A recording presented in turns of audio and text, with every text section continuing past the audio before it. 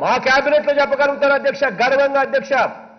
ఐదు మంది deputy chief మినిస్టర్లు ఉంటే ఐదు మంది డిప్యూటీ చీఫ్ మినిస్టర్లలో నలుగురు ఎస్సీలు ఎస్టీలు బీసీలు మైనారిటీలు అని చెప్పి కూడా గర్వంగా ఈ మధ్య అధ్యక్ష.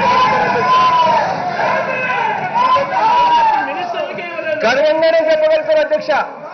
ఈ రాష్ట్రంలో ఈ రాష్ట్రంలో ఈ రాష్ట్రంలో హోంమంత్రి ఎవరు అని అడిగితే హోంమంత్రి ఎస్సీ దళిత మహిళ అని చెప్పి కూడా నేను గర్వంగా కూడా ఈ వేదిక మీద నేను చెప్పగలుగుతాను అధ్యక్ష. అధ్యక్ష ఈ రాష్ట్రంలో ఎడ్యుకేషన్ మంత్రి ఎవరు అని అంటే నిజంగా చదువులు నేర్పించాల్సిన మంత్రి ఎవరు పిల్లలకు చదువులు చెప్పించే మంత్రి ఎవరు అని అంటే నేను గర్వంగా కూడా ఈ వేదిక మీద నుంచి చెప్పగలుగుతాను అధ్యక్ష.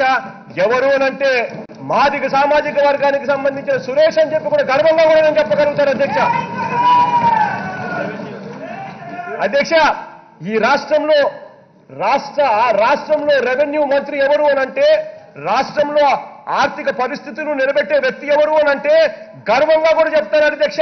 సుభాష్ చంద్ర బోస్ గారు అని చెప్పుకునే సర్వంగా బీసీ మంత్రి అని చెప్పగలుగుతారు అధ్యక్ష.